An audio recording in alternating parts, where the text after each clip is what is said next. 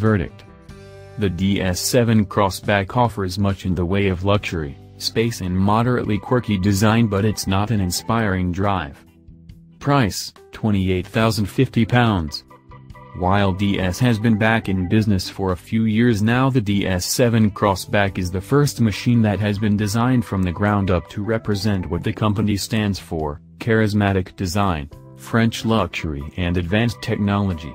It might look pretty similar to a horde of other smaller SUVs but DS is hoping it has enough bespoke design cues to draw customers away from rivals such as BMW's X1, Audi's Q3, the Volvo XC40 and the Range Rover Evoque.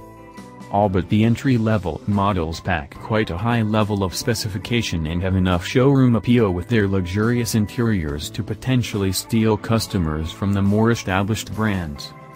A more powerful PHEV model with four-wheel drive and acclaimed 300 bhp is coming in 2019 but it'll need to have a thoroughly revised chassis if it's to endow the DS7 with an enthralling driving experience. In the meantime, those after a small sporty-ish SUV should look elsewhere. DS7 Crossback in detail.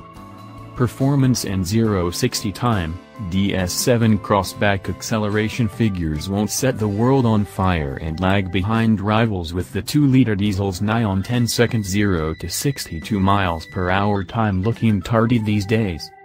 Engine and gearbox, three engines are offered, two diesels and one petrol with outputs ranging from 128 bhp to 222 bhp.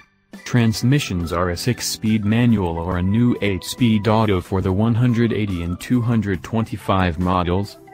Ride and handling, clever active scan suspension endows DS7 with a decent riding comfort mode. Driving modes frustratingly do not offer the option of personalizing them. MPG and running costs, smaller engine diesel promises nigh on 70 miles per gallon while more powerful models are said to do high 50s.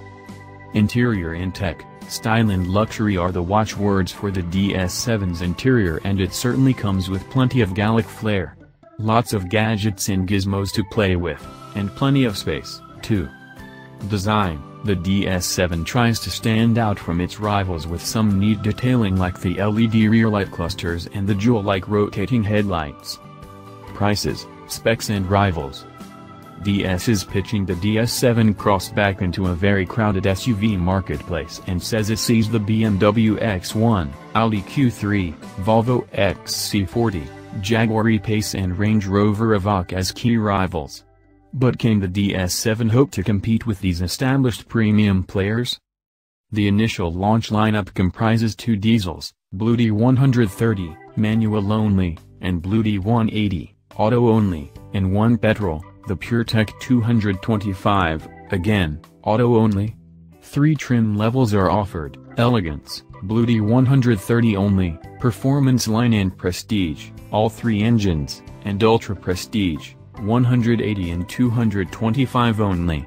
Prices start at a palatable £28,050 for the Elegance and rise to a pretty stratospheric £43,000 for the two Ultra Prestige models.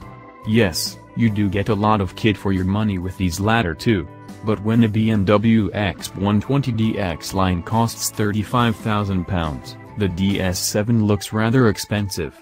The BMW is significantly quicker too, even if it doesn't have quite so much standard equipment. In terms of equipment elegance comes with cloth seats, 18-inch alloys, cruise control, lane departure warning and two-zone aircon while performance line models gain 19s, an Alcantara-clad interior, active scan suspension, 180 and 225 only, LED headlights and a navigation system. The two top-end models really are very well kitted out and just about the only option of note that can be fitted to the Ultra Prestige model is night vision.